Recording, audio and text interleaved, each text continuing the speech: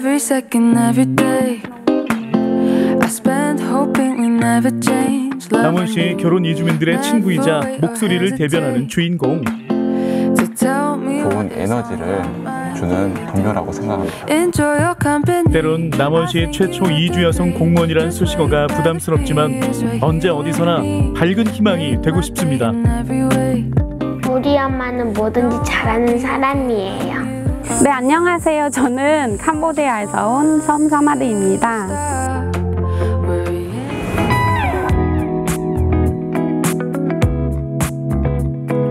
남원시청 여성가족과 오늘 주인공의 일터입니다.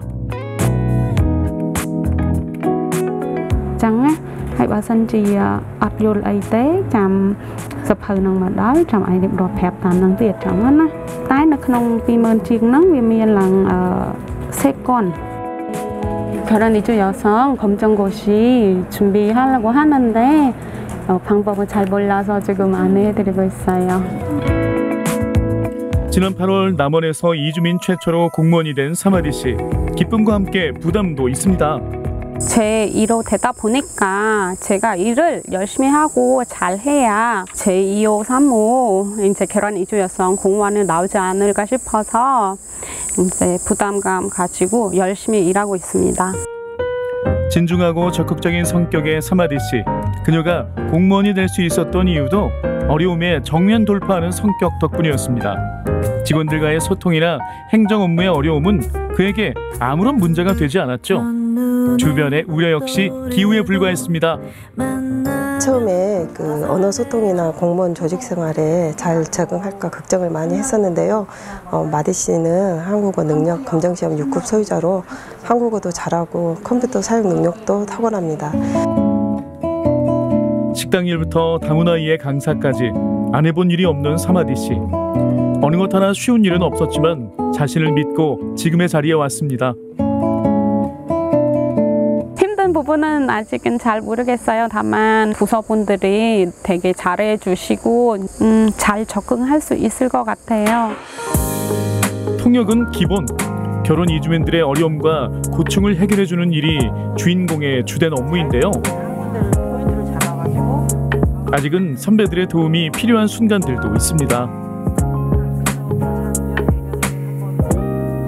결혼 이주민 여성 입장에서 어떤 이 사업을 이렇게 추진하면 어떤 효과가 있을까 그 좋은 방법을 자꾸 찾아가는 방법을 저희가 찾게 하죠. 어, 열정도 좋고 책임감도 강하고 해서 아마 우리 500명이 넘는 다문화 여성들의 에, 롤 모델이 되고 한국 사회는 진짜 열심히 한 만큼 이제 능력이 따라서 대가를 뭐 이렇게 채워주는 그런 사회에 있기 때문에 한국에 와서 그냥 어, 엄마로서 주부로서 아내로서 며느리로서만 살 수 있는 게 아니라 열심히 한 만큼 우리가 시간 관리 얼마만큼 잘해내냐에 따라서 삶의 가격이 달라지거든요. 사마디 씨 퇴근한 것 같은데 집에 안 가고 어디 가세요? 지금 중국 좀 배우고 있거든요. 이제 이따가 올라가 보면 알 거예요. 조금 늦었어요.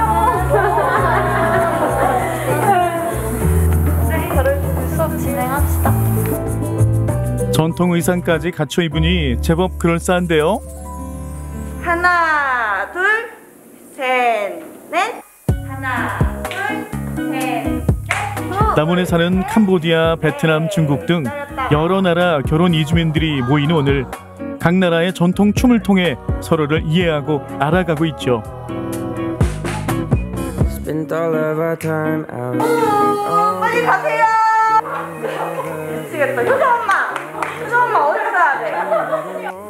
순서를 다 까먹으셔가지고 엄마들이 조금 정신이 없는 것 같아요. 완성도가 그렇게 높지는 않지만 그래도 다들 열심히 하고 있어서 음. 다문화 어울림 축제를 비롯한 여러 무대에서 솜씨를 뽐내었던 사마디 씨와 친구들 함께 어울리며 서로의 문화를 알아가는 재미가 있습니다.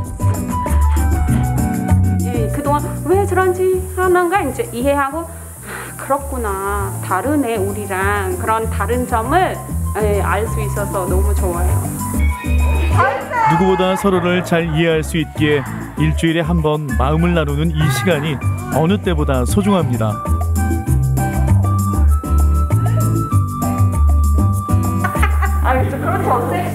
섹시하게 하면 넘어가요. 아니야, 할수 있어.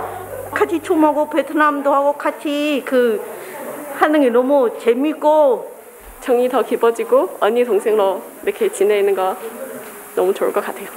계속 이런 수업에 진행할 수 있었으면 좋겠어요.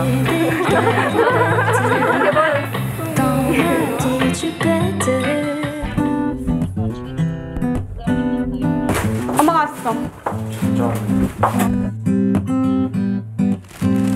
밥 먹었어? 다들? 아빠 밥 먹고 우리 스파게티 먹자고? 그래? 바쁘다는 이유로 가족들에게 소홀하고 싶지 않은 사마디 씨.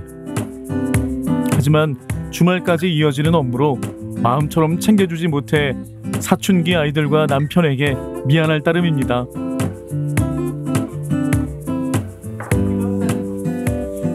집에 있는 엄마가 좋아 일하는 엄마가 좋아? 둘 다 싫어요 둘 다 싫어? 그런 건 어떤 엄마가 좋아? 놀러 다니는 거 아니 엄마가 가자고 해놓고 본인이 안 간다고 해놓고 내가 귀찮은 것도 있긴 한데. 어, 솔직하게 내가 가자 해도 그 약속 잡았다 취소한 게 나- 내가 안 간다는 것보다 더 많아 요새 아 익주스미 너 똑바로 말해야지. 오빠가 찬다고 안 갈 때도 많지. 어.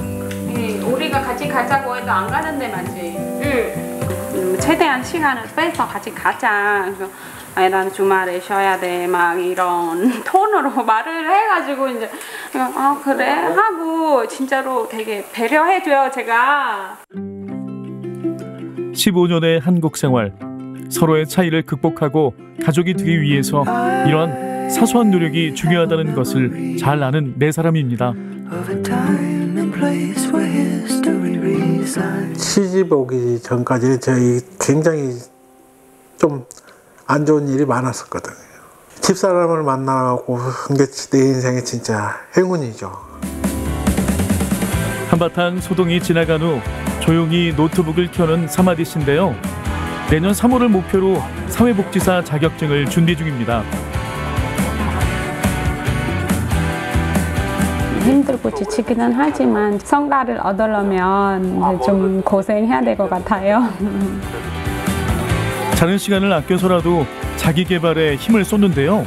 그녀의 꿈은 무엇일까요? 저희 캄보디아 가서 뭐 학원이나 좀 학교를 세워가지고 많은 아이들에게 배울 수 있는 곳에를 세우고 싶어요. 이게 저희 꿈인데 꼭 이뤘으면 하는 바람을 지금 네, 열심히 하고 있습니다. 꿈을 위해서. 한국인과 이주민 경계 없이 함께 어울릴 수 있는 사회. 또 자신으로 인해 이주민에 대한 인식이 달라지기를 섬 사마디 씨는 오늘도 기대합니다.